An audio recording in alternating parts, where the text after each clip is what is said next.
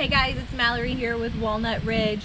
So I'm here with today's Feature Friday and I know you're gonna be excited because you've been waiting for it. So we're gonna walk through the new Puma fifth wheel, the 280 or the 289 BHS. So come on, let's check it out guys. You've got some great pass-through storage here at the front. So like I said, it goes all the way through, so you can put all your lawn chairs, anything in there. You've got some nice MORryde steps other thing that's pretty cool is you actually have a TV mount out here with your plugins. I can open it. Your plugins right there as well. So you can mount a TV. It's kind of nice if you've got the kiddos with you to watch TV outside. They're always excited about that. You've got an outdoor kitchen with a small mini fridge. You actually do have a sink. And one thing I'm super excited about on this fifth wheel is you get a griddle. So you can actually just set that on top and that's your outdoor grill guys your griddle. So that's awesome. So when you want to make your bacon or anything outside you don't have to stink up the inside. All right so let's go check out this inside. I know you're gonna be excited.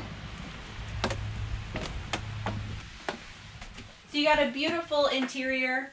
Um, you've got your dinette that folds out into a bed as well with tons of storage underneath on both sides too. So that makes it really nice.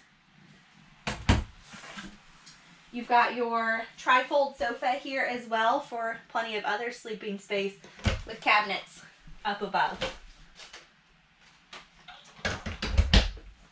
Then you've got your kitchen over here. You've got your seamless countertops with your stainless steel sink.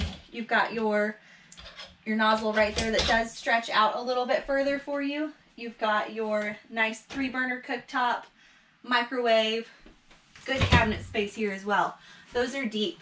So pretty much my entire arm can fit back there, which is nice. And then you've also got storage below. And I like how they separate it for you so you can put your utensils and everything in there. And then you do have some without the separation as well.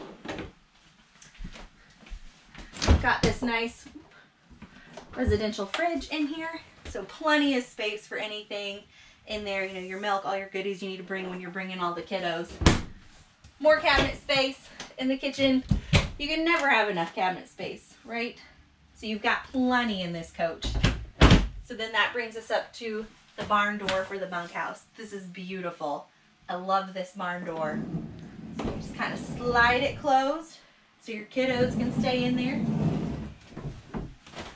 step up and you've got two ginormous bunks. These are really wide bunks, guys. You could fit four people back here easy. You've got tons of storage with two little drawers down below. So cute little area for the kiddos. Then come on back here, back to the living space. You've got your fireplace as well, and those are nice just to knock the chill off in the night especially right now we're in the fall season it's getting a little cooler. So those help so you don't run your propanes. You're just using electricity. Come on back here. Let you peek in the bathroom. So you've got your nice big shower in there.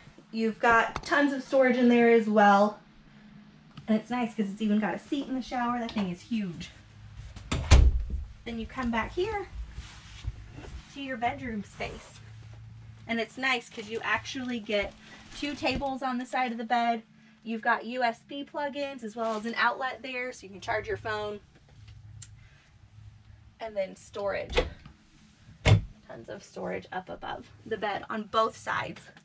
It's going to be like your little his and hers closets or your hers and hers closet. But that is the Puma 289 BHS. This is a great coach and we're excited to get it in.